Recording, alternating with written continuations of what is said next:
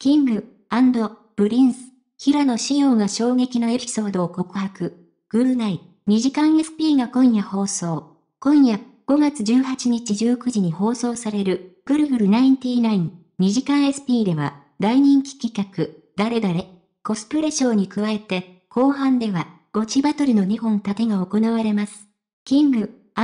プリンスの平野紫耀が黒歴史を告白し、衝撃的な失敗エピソードが明らかになります。さらに、宮野正森と小芝風花が封印したい過去の映像をためらいながら公開します。新メンバーの森山慎太郎が前回初めて1位を獲得し、食材はちゃんと見ないとダメだよ。様々なお店で食べ歩く方がいいと他のメンバーにアドバイスするオープニングで、ナインティナインの岡村隆史と矢部博之から楽屋で変なものを飲んでテンションがおかしいのでは？と茶化されます。今回のトークテーマは、私の黒歴史 SP。封印していた失敗談や今となっては恥ずかしい過去を、一夜限りのトークで解禁していきます。ゲストとして3年ぶりに登場する平野紫耀、キング、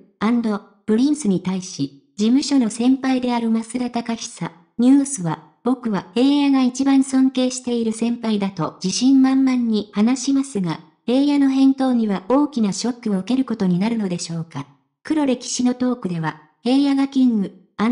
プリンスのメンバーである高橋海人の20歳の誕生日を祝った際に、人生で初めての特別な体験をしたことを明かし、気づいたら日テレを裸足で歩いていたんですよ、と衝撃のエピソードを告白します。さらに、一人で行動するのが苦手と悩んで相談すると、一人で行動している増田に対して、尊敬するところが一つ増えました。と驚きの表情を浮かべるのです。その上、芸能人の中でも一番 SDGs、持続可能な開発目標を実践しているかもしれませんと森山は驚嘆し、平野の魅力が存分に発揮されます。一方、ゴチメンバーたちもやらかしエピソードを率直に告白します。黒歴史はほぼないと最初はカッコつける増田ですが、選挙カーが通りたかった際に犯してしまった恥ずかしい勘違いを明かしてしまいます。宮野はライブの MC 中に特定のポーズをとったところ、なんと衣装が透けてしまい、客席から悲鳴が上がったのです。